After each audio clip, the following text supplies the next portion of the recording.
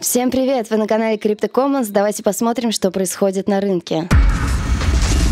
Биткоин продолжает восходящее движение на четырехчасовом таймфрейме. Прекрасно отбился от сетки EMA Ribbon. И все это происходит после солидной желтой точки на сайфере, господа.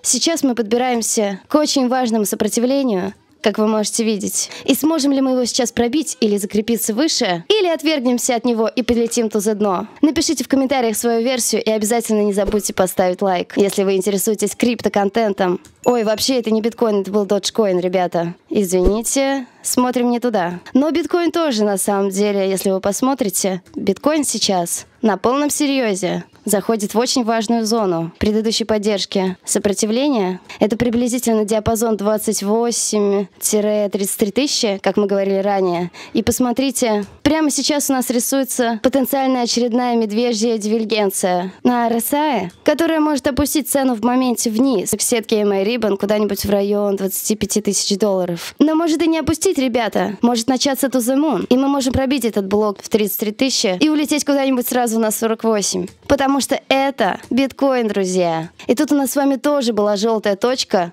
на дневке на сафере, правда, на обычных свечках, а сафер написан под свечки «Хайка наши». На «Хайка наши» свечках не было желтой точки, поэтому ничего не точно, дисклеймер, не финансовый совет. Как обычно, все мои позиции на Bybit прозрачно открытые, ссылка на биржу в описании, Ripple вчера ланганул на профит как последний хомяк, нахожусь в минусе на 1000 баксов, но все остальное в плюсе, поэтому если вы хотите также торговать, переходите по ссылке из описания и добавляйтесь к нам в телеграмчик.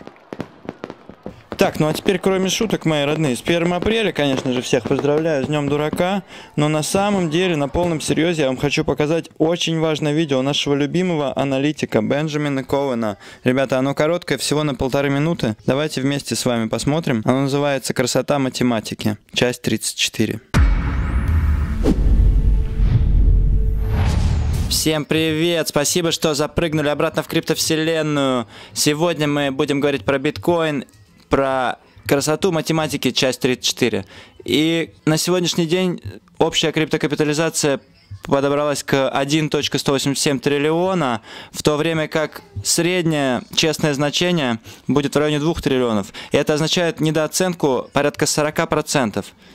И как вы можете видеть, мы, скорее всего, вероятнее проведем этот год между нижней границей логарифмической регрессии и красной честной ценой. Так что этот год, скорее всего, будет как аккумуляционный год. И, честно говоря, альткоины... И, честно говоря, мои альткоины в этот момент замечательно себя чувствуют. Просто крышесносно иксуют уже со дна. Поэтому давайте-ка посмотрим на...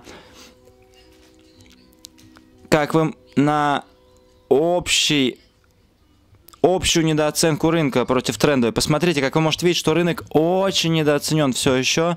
Так что, чуваки, территория недооценки – это та территория, где вы хотите покупать. Надеюсь, вы заценили контент. Ставьте лайк, подписывайтесь на канал, жмите на колокольчик, переходите по ревкам. Всем профитролей и хорошего настроения.